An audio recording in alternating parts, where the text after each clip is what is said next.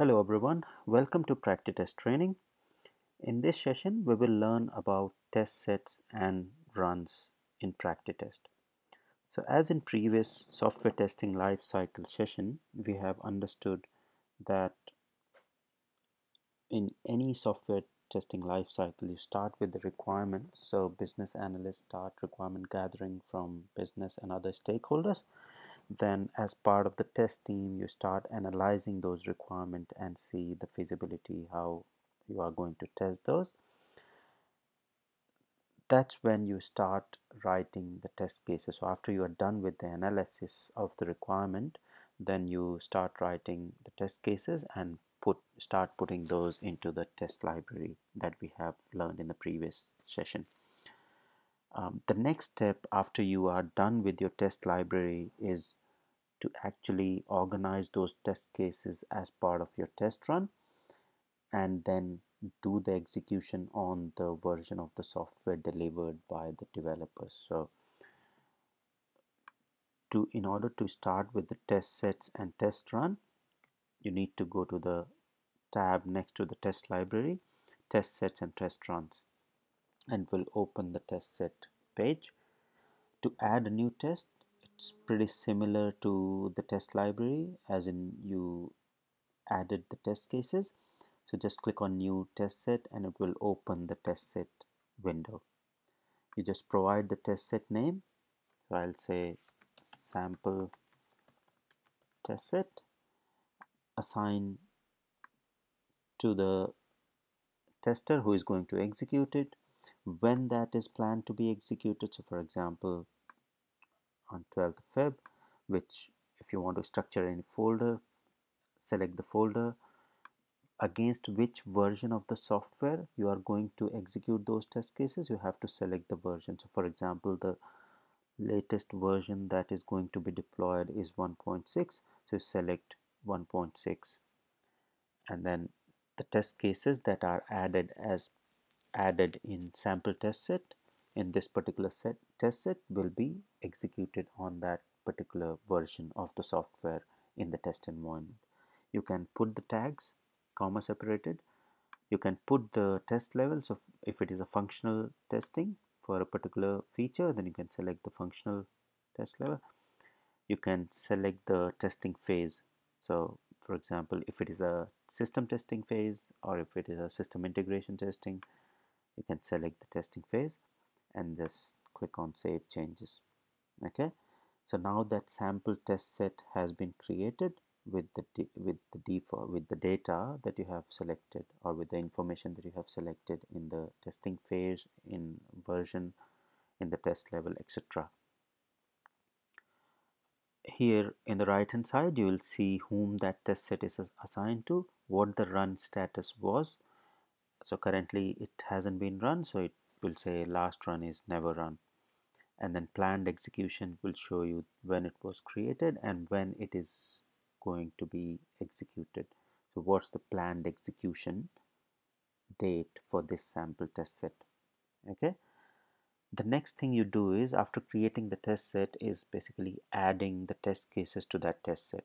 So you you created the test set but there has to be certain number of test cases in that test set to in order to someone to execute those tests.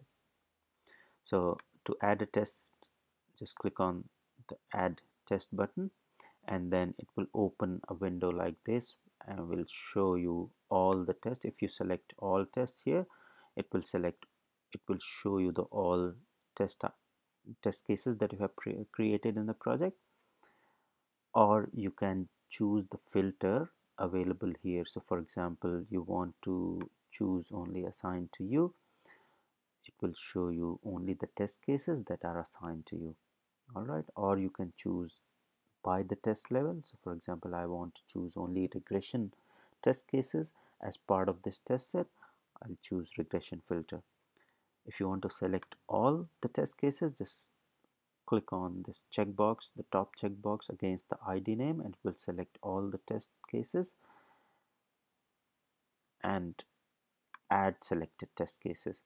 So once you click on add selected test cases you will see all the selected test cases here are part of that test set and added in that test set for the run. All right so once the test cases are added to the test set the next step is to plan the execution of the test sets. All right so you have created your test set. You have planned when these test cases will be executed. Now once that particular date is there you have the build deployed in your test environment. Uh, the tester whom these this test set is assigned will go ahead and start executing those test cases. So once that particular date is there so if you go to that test set a test tester will come in so it is currently assigned to Anna Smith. She'll come in and click on run now.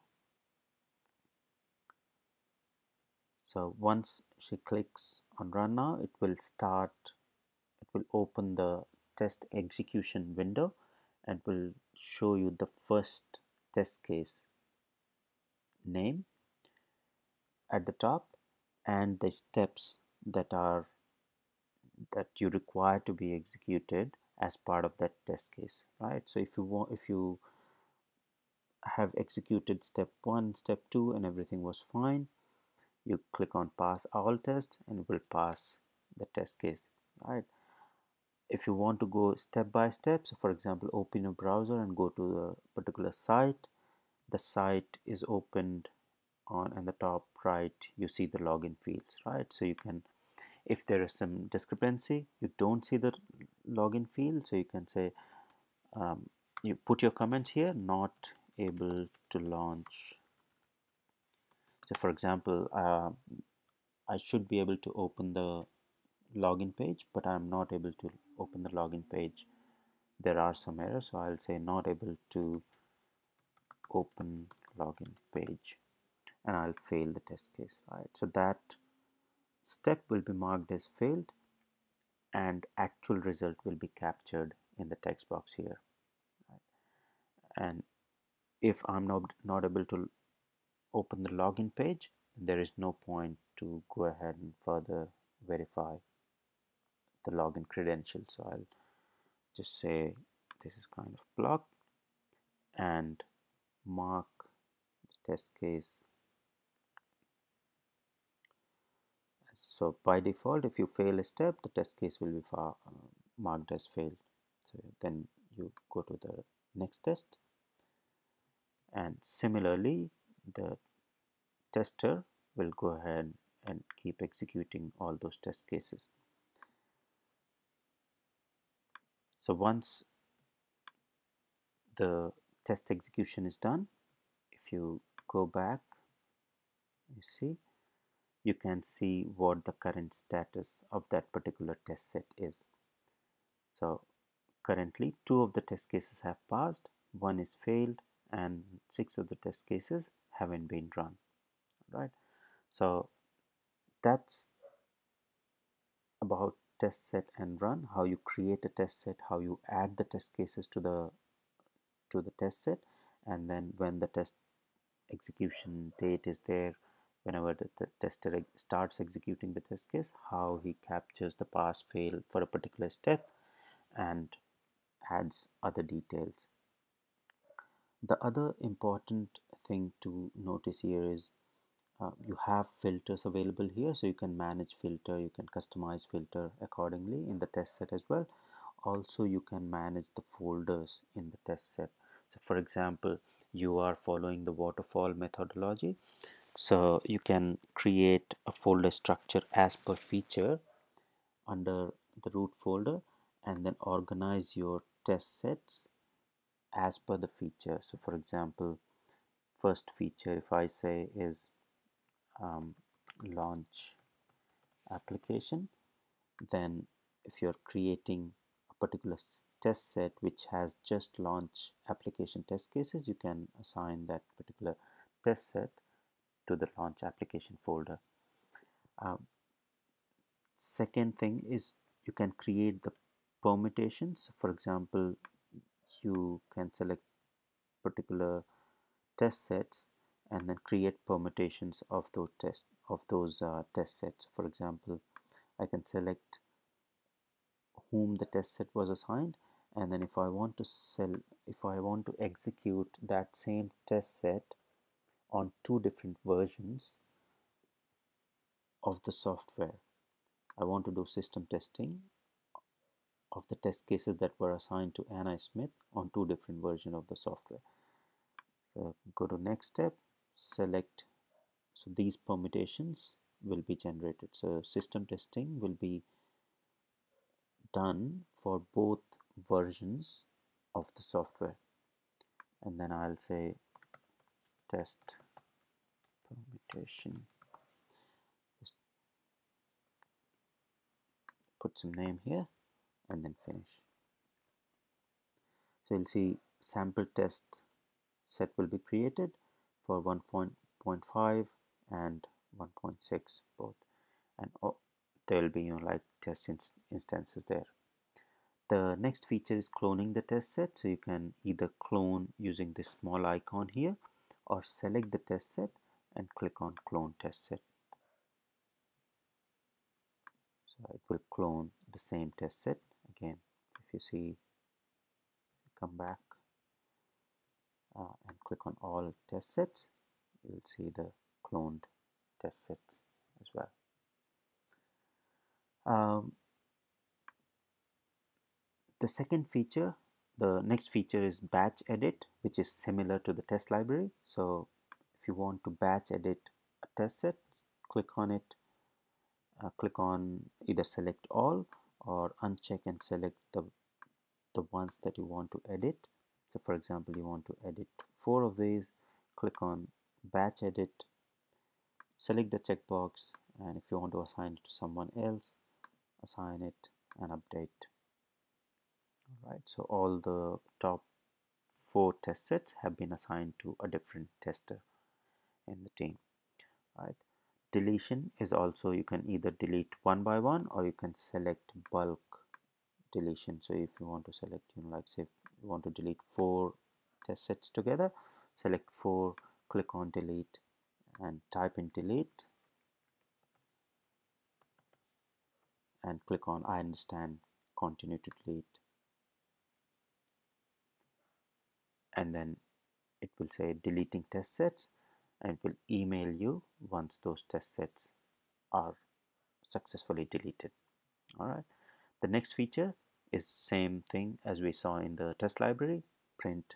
So you can click on a particular test set click on print and it will print all the details about that test set.